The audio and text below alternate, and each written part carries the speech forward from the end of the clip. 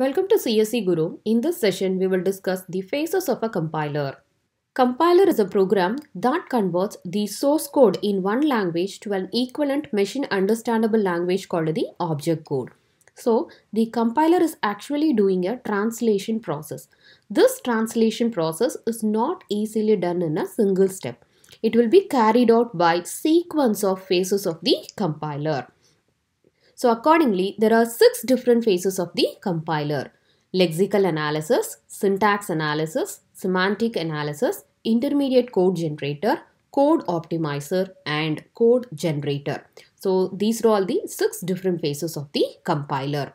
So in each phase, it transforms one representation of the source program to the another representation. The six different phases of the compiler is actually divided into two main parts one is analysis part and another one is synthesis part.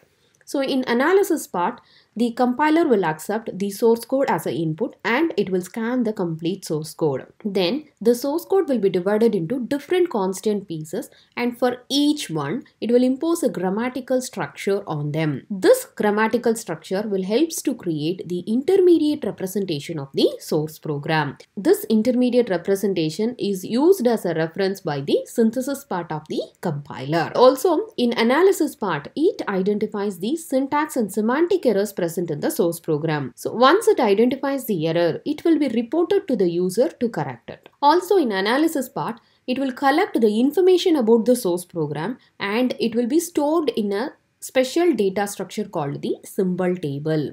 So this symbol table will store the informations like identifiers, subroutines and its related attributes. And this symbol table is used as a reference by all other phases of the compiler. This analysis part of the compiler is called the front end of the compiler. So the first three phases of the compiler that is the lexical analysis, syntax analysis and semantic analysis will come under the analysis part. Next synthesis part. So in analysis part it will create the intermediate representation of the source program and and the information of the source program will be stored in the symbol table.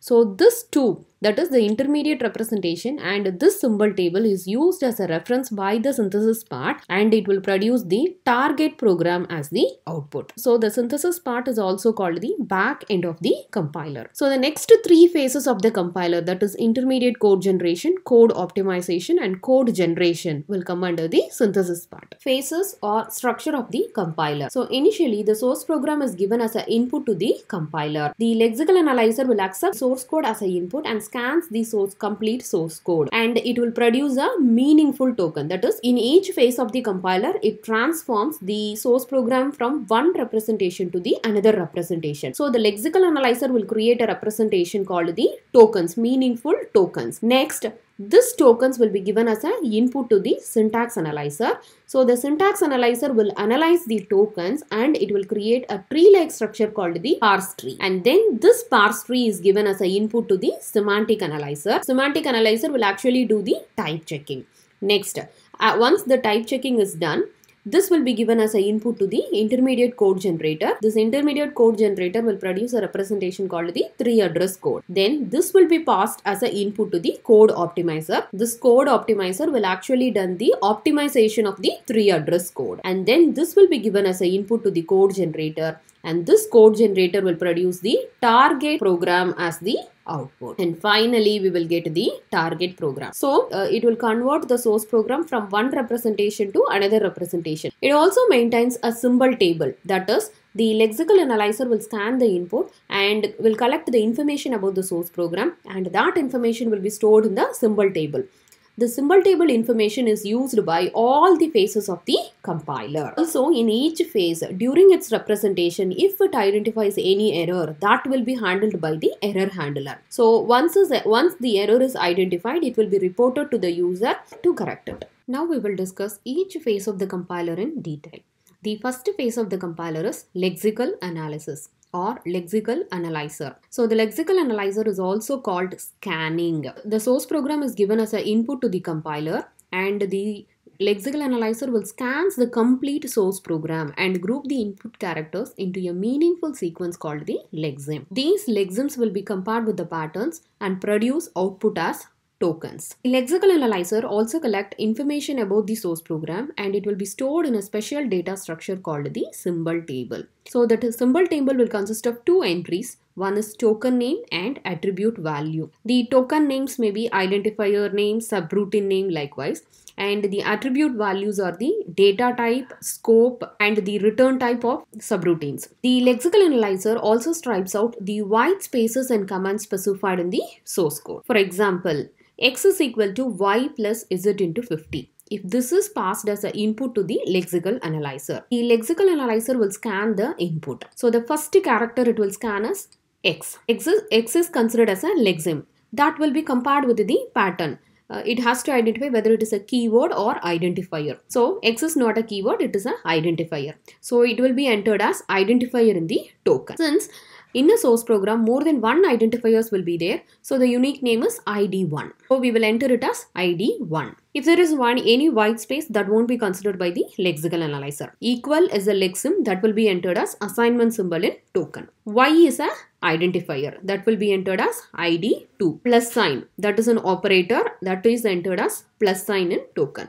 Next, Z is a identifier that is entered as ID3. Star is a operator that will be entered as multiplication and 50 is a constant so that will be entered as constant in token. Next, this is the structure of the symbol table. So all the identifiers will be entered into the symbol table that is x, y, z and the operators it is not necessary to enter. So only the identifier subroutines likewise we will enter into the symbol table. So if you are considering the lexical analyzer, the input to the lexical analyzer is x is equal to y plus z into 50 okay?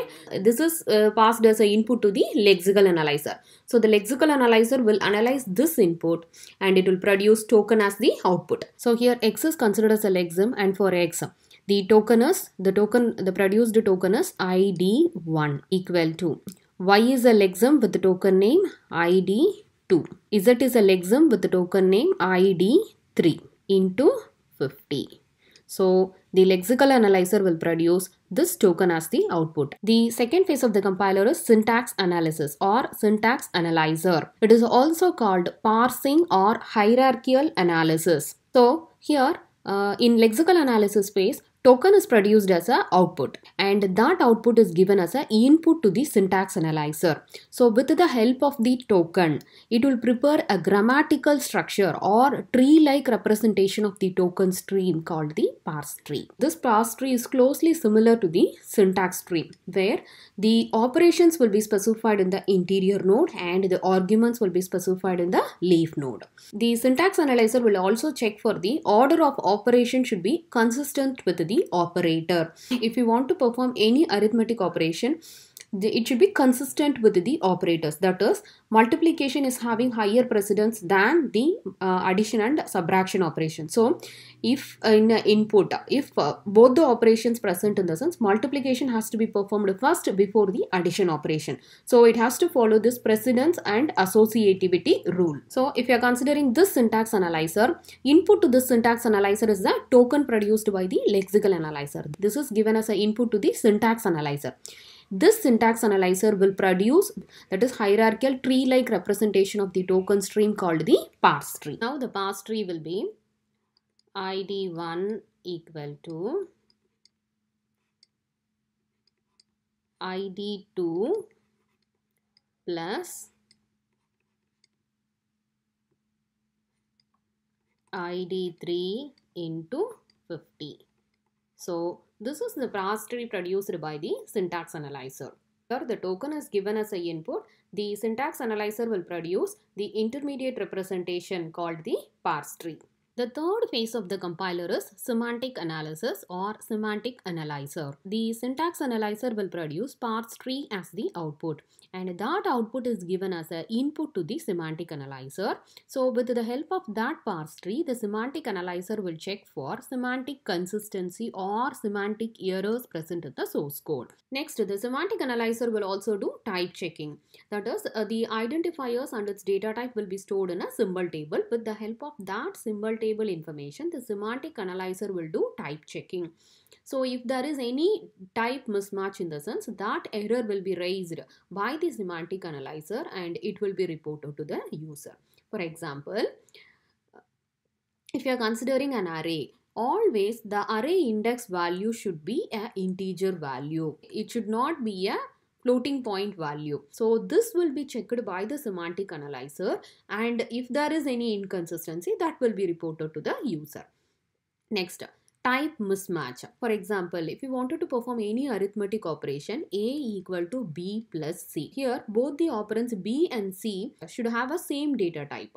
If any one of the data type is different in the sense, we have to change appropriately and then only we have to perform the arithmetic operation.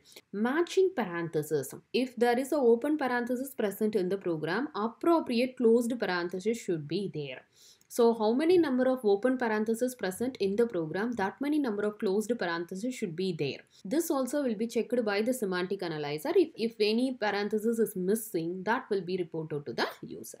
The semantic analyzer will also check for the if-else consistency. That uh, that is, a, if particular if statement is having a else part, that should be matched with appropriate if statement. It should not be matched with any other if, if statement in the program. That also will be checked by the semantic analyzer and the scope of the variable or operation that also will be checked by the semantic analyzer. In the input to the semantic analyzer is the parse tree produced by the syntax analyzer. So in this parse tree if you are considering 50 is a constant value and suppose if id3 is a real value we have to convert this 50 to a real value and then only we have to perform the multiplication operation. So the semantic analyzer will analyze the type mismatch here. So the output produced by the semantic analyzer is also the parse tree. So the semantic analyzer it will convert the constant value 50 to a real value that is int to real of 50.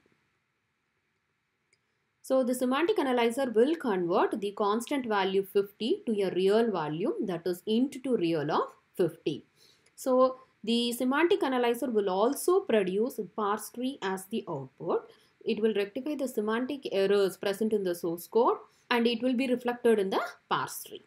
In this session, we have discussed the analysis part of the compiler that is lexical analysis, syntax analysis and semantic analysis. In the next session, we will discuss the synthesis part of the compiler. Thank you for watching this video.